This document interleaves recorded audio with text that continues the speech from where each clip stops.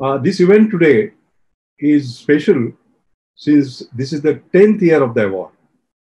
But it is even more special because this year, 2020, has shown us the importance of the very subject of the award, inclusive innovation.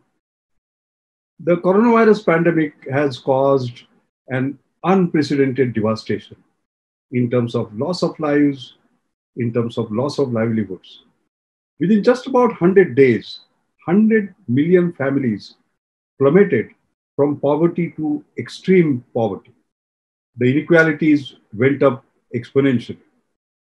The only way to recover is by accelerated inclusive growth driven by inclusive innovation that can achieve the magic of access equality despite the income inequalities which have risen.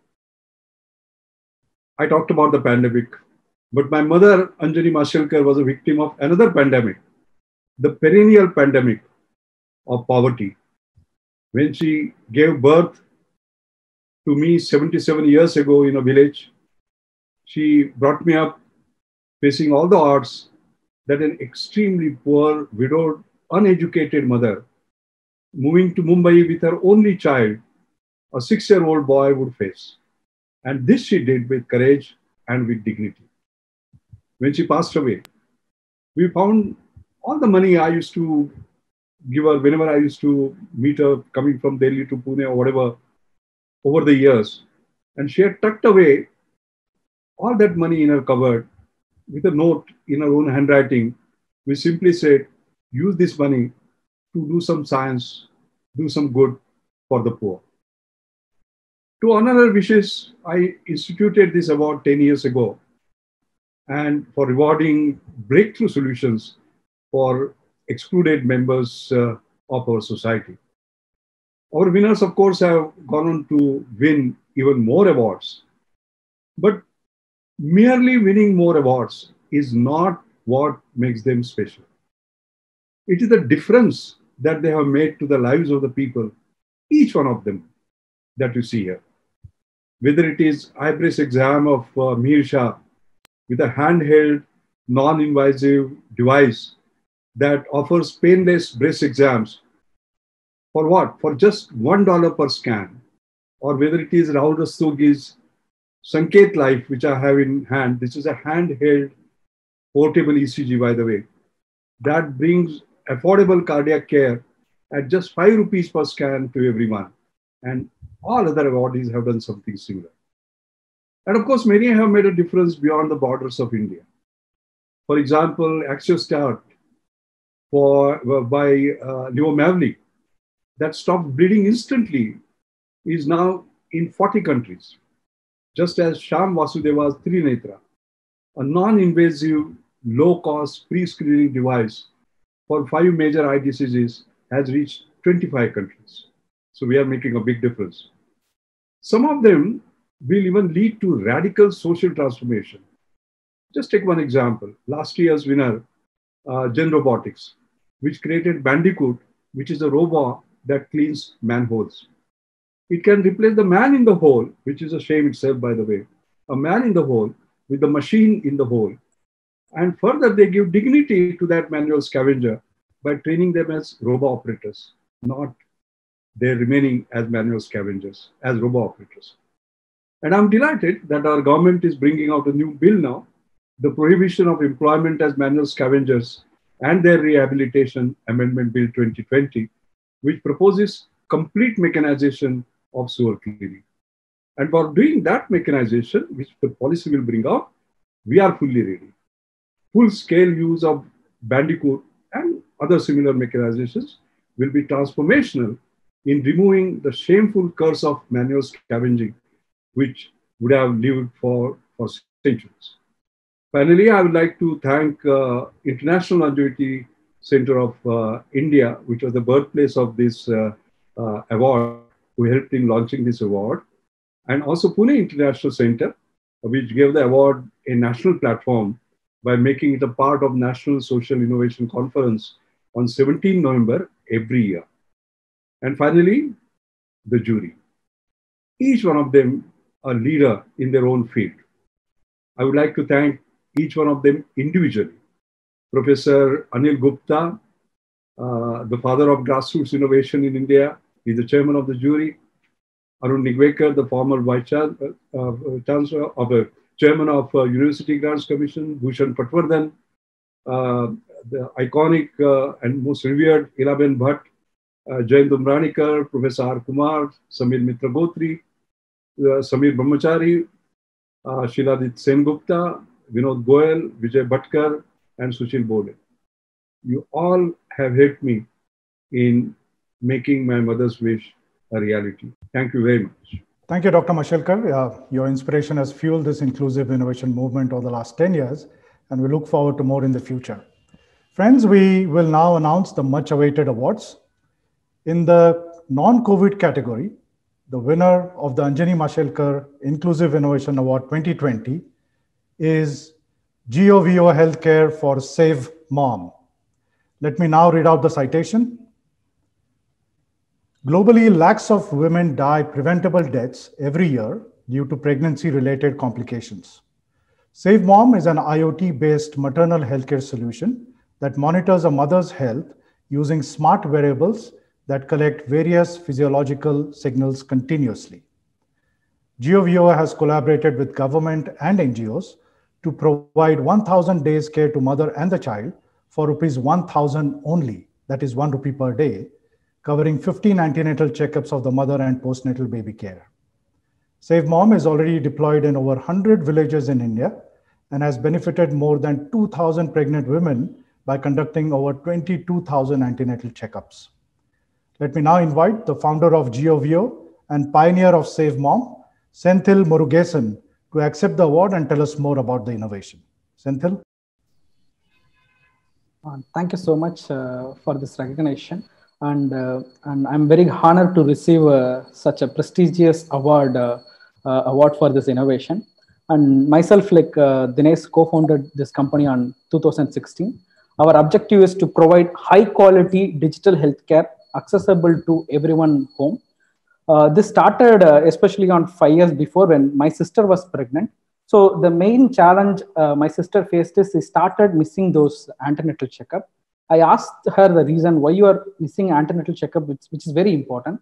She told me that um, every checkup involves a travel, five to 10 kilometer travel, and three to five hour waiting time in the hospital just to get a three minute consulting from a doctor.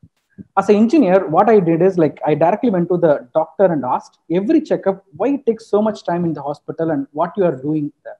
So the doctor told she will collect all her vital information and symptoms, and based on that, uh, the decision is taken and the care is given to her. So I asked the doctor instead of my sister coming here every time, if you get all the vitals digitally, will you able to take a decision or not? The doctor told yes of course uh, if i get the data i can uh, give a proper consulting for her. So these are the devices available in the market. The problem is it has a display and it's showing the data to you. As a patient you, you can't predict or interrupt those data. So as an engineer what i did is i removed the display on all the device and quickly done a prototype where a simple application which is given to my sister and i told whenever you click this application through bluetooth it collects all your vital information and send one SMS to the doctor. In that SMS, doctor will receive her vitals and symptoms. If uh, everything is okay, the doctor press good. So I send a nice smiley to my sister saying that you are good and safe. No need to get panic.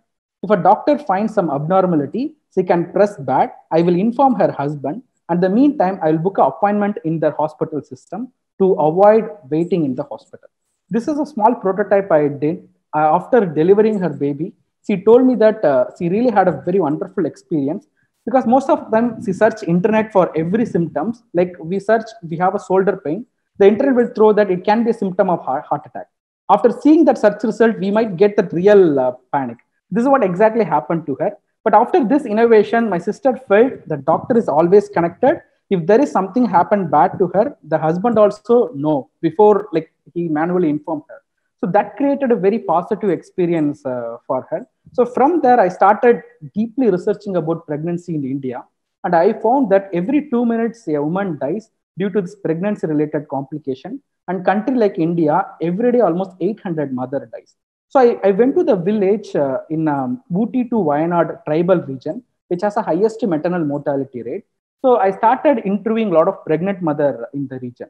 One lady told me that the previous pregnancy, the baby died inside the womb, and this is her second pregnancy. I quickly went to the nearest primary healthcare center to get her mother and child report card. But the card says that the baby born successfully and it has an age of two now, and the parents received some 10,000 rupees government money. There's a signature. I took this report card to them, but the entire family was really shocked to see that. The husband told me that uh, the hospital is 20 kilometer away from the home, so he never take her for the hospital checkup.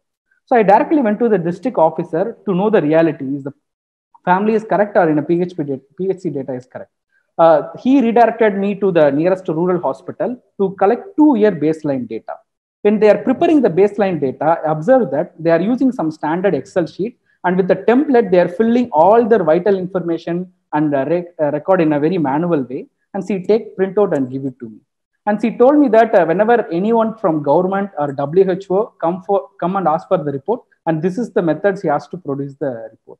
Here I understand that government has world-class pregnancy scheme.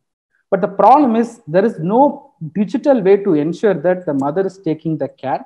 So people could able to fake the data and submit the fake report to the government. So here, what I have done is I used the innovation which I built for my sister. I used here.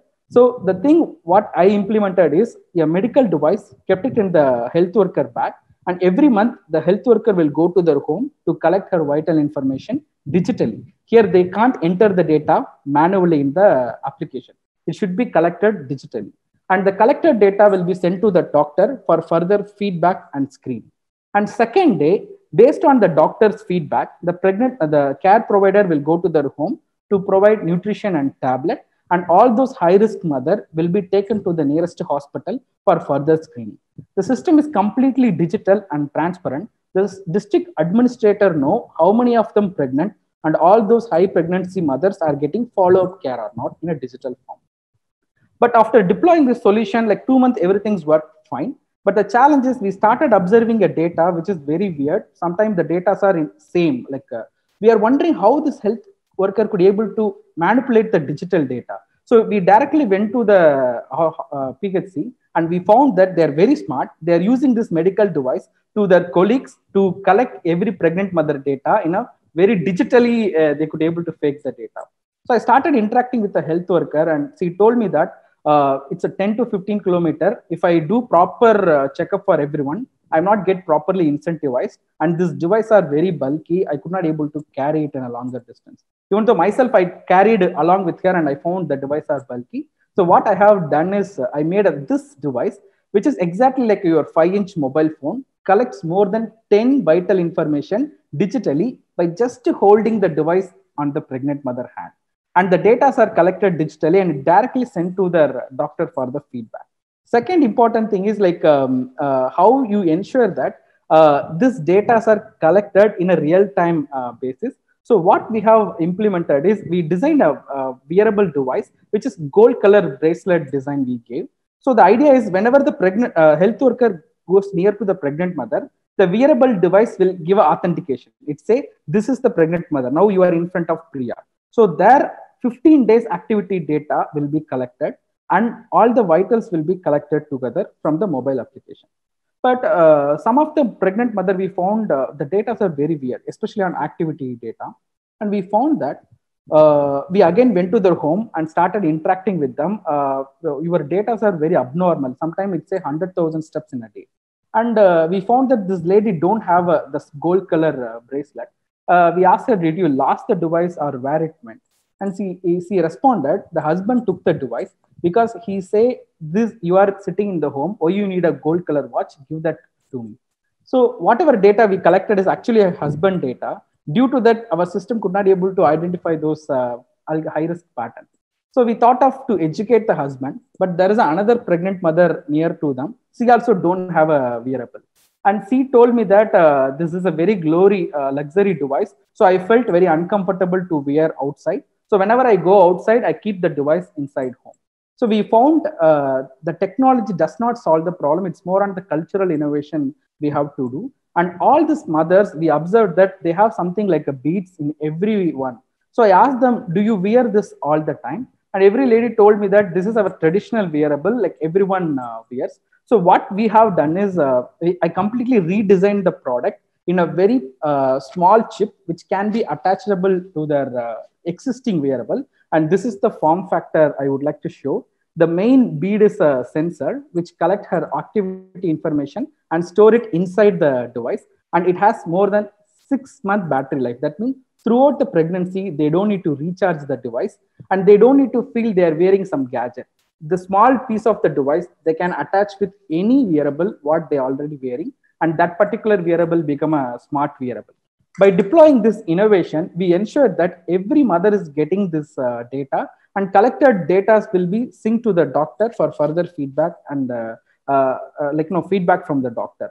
Uh, we have deployed this for throughout like you know almost like 18 months in that uh, region and we want to say like um, the another big challenge is after identifying those high risk mother we convince the local government to provide a very quality nutrition food but once we provided the food still their weight is continuously decrease, decreasing so when i went to their home uh, to interact with them what they are doing with the nutrition food this lady whatever nutrition food we are giving she will give it to their family and their children she never consumed this uh, device. So here again, we come up with another hack. Uh, we found that whenever we talking to her, she felt very hungry. She has a small pot of water and she continuously drinking the water. So one pattern we observed, she's taking a water continuously. And next iteration, I instructed the health worker, once your checkup is done, make all this nutrition in a powder form factor and put it inside the pot and add some kind of a bitter taste so that the children or husband never touches the water after doing a small changes in the pattern, uh, for them, they are continuously drinking uh, uh, water, but now it is highly nutritionized. So after three months, the doctor told me that suddenly everyone weight started increasing, their anemic problem is uh, going down. So we ensured that the data is collected digitally and there is a proper transparent system. And the nutrition also, they could able to consume the nutrition based on their uh, uh, need. This is a small change we did and after uh, like you know uh, first iteration there is a new baby born in the village so they invited me i was in the village everyone the village people gathered in the region and they are holding this newborn baby from one hand to other hand. Uh, so i asked this uh, lady's mother what they are doing with the newborn baby. And she told me that uh, she just gave the baby to me. And uh, she told me that this is the first time in their village they could able to feel the weight of the baby. And the baby is smiling. So no one seen a smiling baby after the pregnancy. So every people in the village gathered to experience that. And uh, as an engineer, I have developed a lot of application innovation, but I never touch my output in a physical form. So this is the first time I felt I could able to feel the my output in a very physical form and it's smiling in front of me. The amount of satisfaction it gave me is really good. So this project was deployed almost 17 tribal villages, very, very inaccessible region. With the IoT based innovation, we could able to continuously monitor the mother and we ensure that they get 16 antenatal checkup throughout the pregnancy. And we provide 1000 day transparent uh, uh, maternal and child care. And till date, we have served almost 22,000 antenatal checkup uh, for this mother. And this was globally recognized. Uh, we got a awards from a global firm, especially like now we are very honored to receive uh, this award. And I, I, the important thing is I have done this innovation from my hometown Madurai. Uh, it's a small town, uh, tier two city. Like no, most of the people don't believe people can innovate from this smaller town. But my model is I have to do it, it from my hometown, not in like a major city where the startup ecosystem is there. So I built the entire team of girls in a local town to build this innovative product and it was recognized by a google for india conference so for the past five years i have built a largest woman developer community in my hometown using these girls we are keep on solving the local problem one part is this pregnancy but we have done so many innovation locally from madurai uh, which is useful for the community people and thank you so much for this uh, opportunity thank you senthil save mom is an outstanding example of how problems have to be solved relentlessly at every step while co-creating with the users. Well done and very proud, Senthil. We now move on to the second category, the COVID category. And the winner of the Anjani Mashelkar Inclusive Innovation Award 2020 in the COVID category is Dozee. Let me now read out the citation. India requires appro approximately 2,70,000 ICU beds, almost three times the current number, to avoid preventable COVID 19 deaths.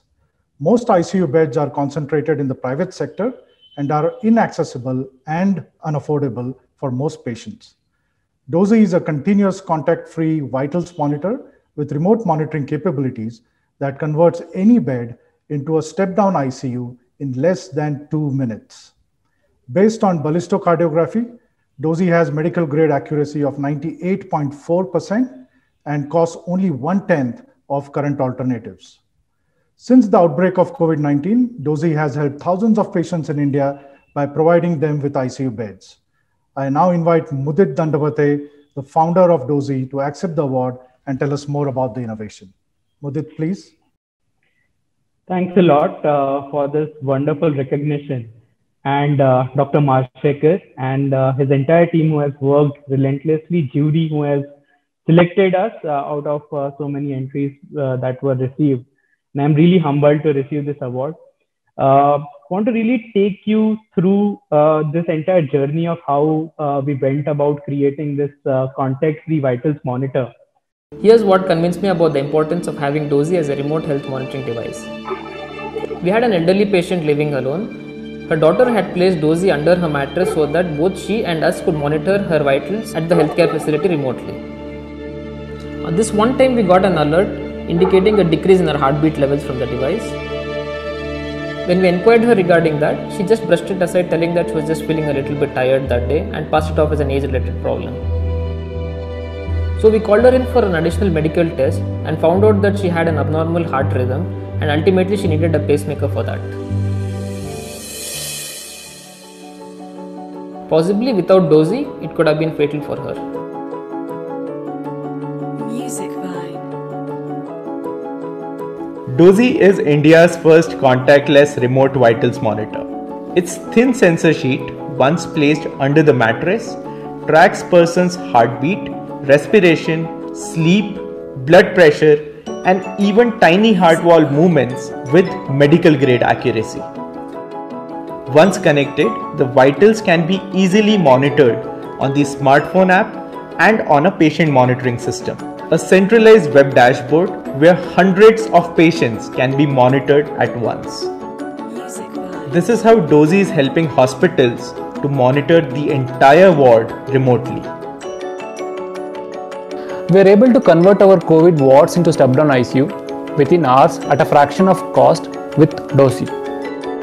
It has reduced the workload for both doctor and nurses and also exposure to the infection tremendously. This is because now we are monitoring COVID-19 patients remotely as uh, Dozee can be combined with SpO2 sensor too. The best part is we can customize alert for each patient and take a necessary action when required. This helps a lot in improving our daily workflow. At ESIC hospital, we are able to timely shift patient to ICU based on alerts. Dozee can be used on any number of patients and with any commercially available mattresses. It requires no maintenance and it can even be integrated with the hospital's EHR systems through our APIs and SDKs. Dozee has been supported by the Government of India, Bill and Melinda Gates Foundation, and various other organizations. With more and more consultations going online, Dozee is helping provide better healthcare outcomes to thousands of patients at home. It is also helping many leading hospitals to create step down ICUs. Continuous non invasive monitoring of health vitals will be an integral part of future medicine, and we at Dozee are happy to provide it today.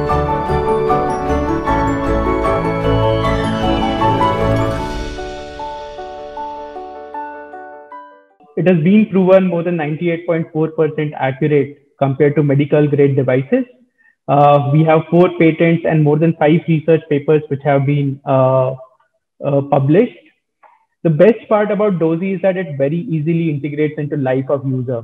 I think Senthil also mentioned that the best way, if you want people to really adopt the solutions, is to really integrate into their life really well. Dozee literally makes it very, very easy. All that users have to do is just go and sleep. No wires, electrodes, anything needed to be attached. The data is uh, uploaded directly to the cloud and which can be accessed remotely on a remote dashboard, requiring no maintenance, no consumables, almost 20 times cheaper than the product used in ICU. And the best part, it requires very little technical expertise. So anyone who knows how to operate a mobile phone uh, can even operate and set up uh, Dozee as well. Today, Dozee is uh, providing uh, care in more than 40 institutions. Uh, more than 5,000 users at home are currently using Dozee to continuously monitor their parents uh, and also their doctors can see their data as well. More than 7,000 COVID patients have been monitored at COVID care centers, quarantine centers, hotels turned into uh, uh, COVID care centers and even step down ICUs where they are continuously being monitored by the nursing staff, keeping them safe as well. And in this entire time, uh, time the biggest satisfaction which both me and my team has is that at times it has been able to uh, tag AI-driven alerts, uh, which Dozee lets you customize and put it to each and every patient and it has proven life-saving, causing early ICU transfers, literally touching lives, which is uh, the dream of any innovator. Uh, COVID-19, uh, Dozee has proven a lot of uh, uh, assistance to wards uh, as well in Tamil Nadu, converting general wards and helping them with step-down facilities. Even at home as well, there have been multiple stories where Dozee has proven life saving by proactively and preemptively alerting people about their deteriorating health condition. When I'm talking about uh, step down ICUs and things like that, these are at remotest of places, uh, in places like Chengalpattu Medical College, uh, ESIC Hospital, Bangalore, uh, in, uh, in Rajasthan uh, district over there as well. So all across India, we have been creating an impact. We are looking for more and more partners to create this care, take it to where patients are at their home in wards as well. Uh, and let's create a health revolution. Thanks a lot uh, for recognizing us with this award. And we're really looking forward to digitizing this entire transformation of healthcare and uh, making uh, healthcare accessible by making it simpler and take it to each and every individual, not just in India, but everywhere as well. Thanks a lot. Yeah, thank you, Mudit. Your story is very inspiring and a great example of how high technology can be applied to solve unique problems, that too at ultra low cost. Dozee, in my mind, is one of the best examples of repurposing technology for COVID. Hearty congratulations to both the winners for ending the decade of inclusive innovation with such great products. I would now like to invite Dr. Ari Mashelkar to please deliver his closing remarks. Thank you. Dr. Mashelkar, please. Yes, uh, thank you very much. Uh, uh, first of all, uh, very, very uh, warm congratulations, hearty congratulations to Senthil, to Mudit. You have not only touched uh, uh, people's lives, but also touched our hearts today, everyone who is uh, watching. like you said at the end, the emerging digital India will have to go for digital health agenda and these innovations are a perfect fit. Indeed, I would say exemplars. You know, recently I had the privilege of looking at a fascinating book that Ganesh and Uma Natarajan are writing, and this is about digital reengineering for business transformation. I would say that what Senthil and Mudit have done is digital reengineering for social transformation. Uh, our award is uh, very special, I want to remind you, because we just don't recognize, like we did today, hand over a cash prize, which is a very small amount of 1 lakh, give a trophy. These are all symbols. We applaud, like uh, uh, we did today, click photos, like we are doing, and stop. No, that is where we actually begin. We go above and beyond by opening the doors of opportunity for the awardees as you would see over the last 10 years for funding, for mentorship, for partnerships, etc. We all have to support inclusive innovators, not just uh, with uh, venture funds, but also adventure funds, with soft funds, And it's not just the private sector that has a role to play here. In fact, the government can become the largest customer for inclusive innovations via progressive and promotional public procurement policies, uh, five Ps, if you like, that will ultimately result in the welfare of the masses. You can just see these two technologies, what difference it can make uh, uh, to India. Uh, for real inclusive growth, we all need to be partners in this. I would say, I used to say, I in India must stand for innovation. I would say, I in India must stand for inclusive innovation for attaining uh, the inclusive uh, growth. Uh, I want to thank you all for joining us in this journey, in this very, very humble uh, contribution that we are trying to make in launching uh, and taking forward this inclusive innovation uh, movement for India. Thank you very much.